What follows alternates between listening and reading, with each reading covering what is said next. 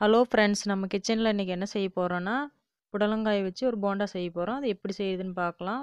வாங்க அதை எப்படி செய்யலான்னு பார்க்கலாம். புடலங்காய் முதல்ல தோல் சீவிட்டு இந்த மாதிரி சைஸுக்கு வெட்டி வச்சுக்கோங்க. கொஞ்சம் உப்பு போட்டு பெசரி வச்சுருங்க. பொட்டுக்கல்ல ஒரு கப் எடுத்துக்கோங்க. பெரிய வெங்காயம் ரெண்டு எடுத்துக்கோங்க. பச்சை மிளகாய் ஒரு நாலு பீஸ் எடுத்துக்கோங்க. காரத்துக்கு தகுந்த மாதிரி எடுத்துக்கோங்க.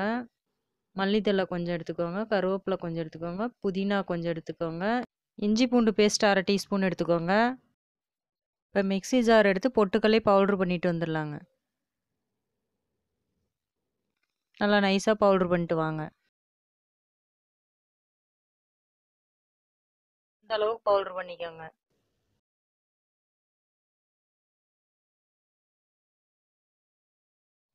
மிக்ஸி ஜார் எடுத்துக்கோங்க. ஒரு டீஸ்பூன் சோம்பு போட்டுக்கோங்க. ஒரு அட்டை போட்டுக்கோங்க. ரெண்டு கிராம்பு போட்டுக்கோங்க.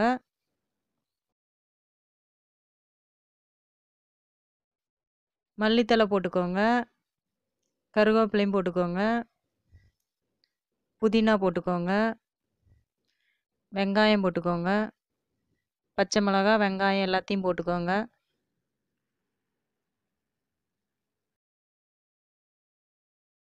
இஞ்சி பூண்டு பேஸ்ட்டும் போட்டுக்கோங்க.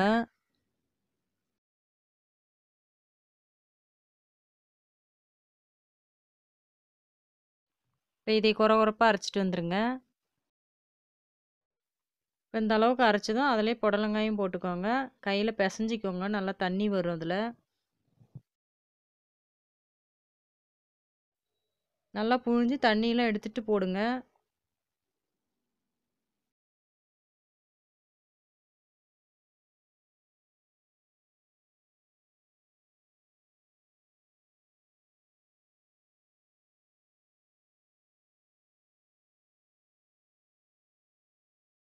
புடலங்காயெல்லாம் போட்டாச்சிங்க போட்டாச்சுங்க இப்போ அரைச்சிட்டு வந்துடுங்க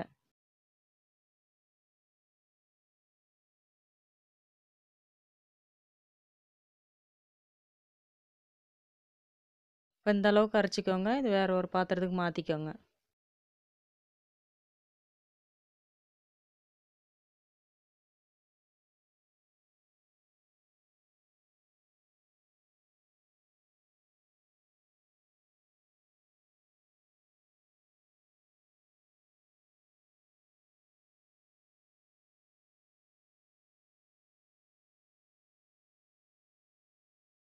இப்போ அரைச்சிட்டு வந்தாச்சுங்க. இப்போ அந்த பொட்டுக்கடலை பவுடரும் அதில் சேர்த்துக்கோங்க.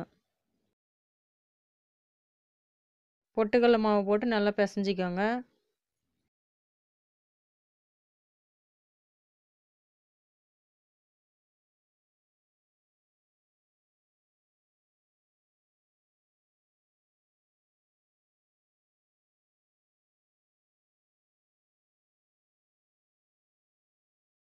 இப்போ பொட்டுக்கடல மாவு பத்தலை இன்னும் ஒரு அரை கப்பு போட்டு பவுட்ரு பண்ணிட்டு வந்துடலாங்க.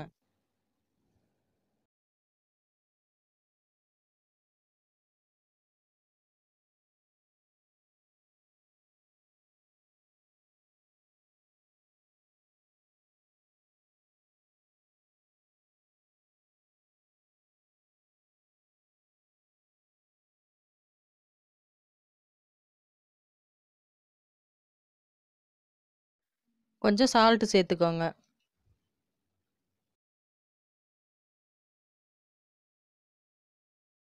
இப்போ மாவை நல்லா பிசைஞ்சு சின்ன சின்ன உருண்டையாக பிடிச்சி வச்சுக்கோங்க.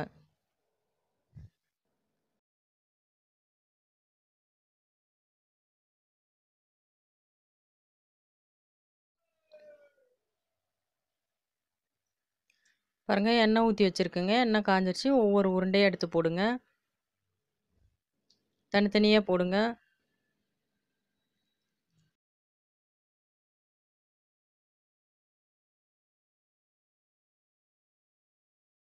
இப்போ எல்லா உருண்டையும் போட்டாச்சுங்க. ஒரு அஞ்சு நிமிஷம் விட்டு கிளறி விடலாங்க.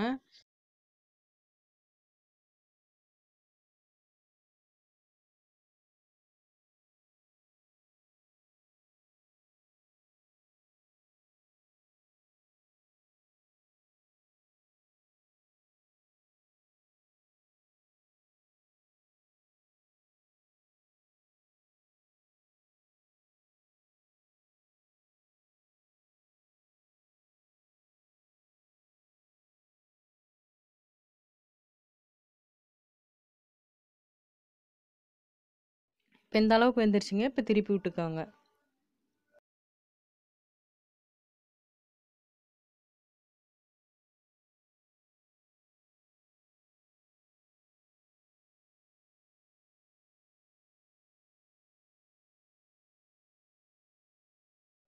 இப்போ இந்த அளவுக்கு வந்ததும் எடுத்துருங்க. நல்லா வெந்துருச்சிங்க.